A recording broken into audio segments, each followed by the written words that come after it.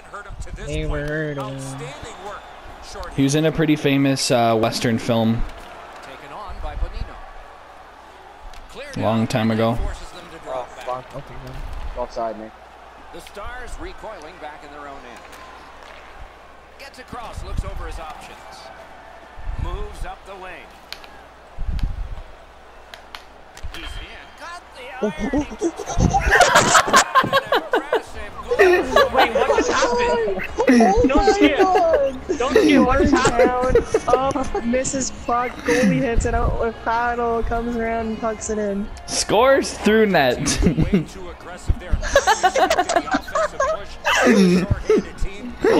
the fuck was that angle? Yeah. Oh,